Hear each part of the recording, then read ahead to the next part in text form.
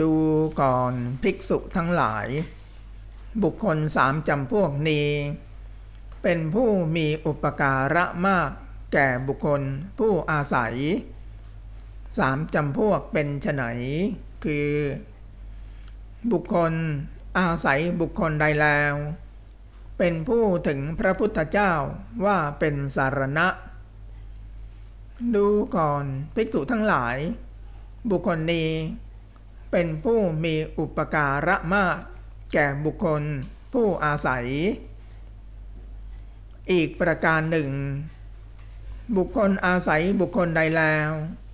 ย่อมรู้ชัดตามความเป็นจริงว่า นี้ทุกนี้ทุกขสมุทัย นี้ทุกขนิโรธ นี้ทุกขนิโรธคามินี ปฏิปทา ดูก่อนภิกษุทั้งหลาย บุคคลนี้เป็นผู้มีอุปการะมาก แก่บุคคลผู้อาศัย อีกประการหนึ่ง บุคคลอาศัยบุคคลใดแล้วทำให้แจ้งซึ่งเจโตวิมุตติ ปัญญาวิมุตติ อันหาอาสวะมิได้ เพราะอาสวะทั้งหลายสิ้นไป ด้วยปัญญาอันยิ่งเอง ในปัจจุบันเข้าถึงอยู่ ดูก่อนภิกษุทั้งหลาย บุคคลนี้เป็นผู้มีอุปการะมาก แก่บุคคลผู้อาศัย ดูก่อนภิกษุทั้งหลาย บุคคลสามจำพวกนี้แล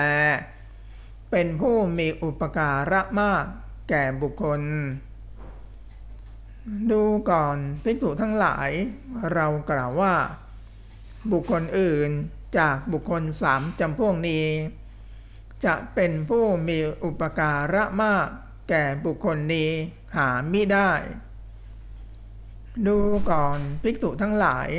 เราย่อมกล่าวว่า บุคคลนี้ทำการตอบแทนคือ ด้วยการกราบไหว้ การลุกรับ การประนมมือไหว้ สามีจิกรรม การให้ผ้านุ่งห่ม อาหาร ที่อยู่อาศัยและยารักษาโรค แก่บุคคลสามจำพวกนี้ มิใช่ง่ายแล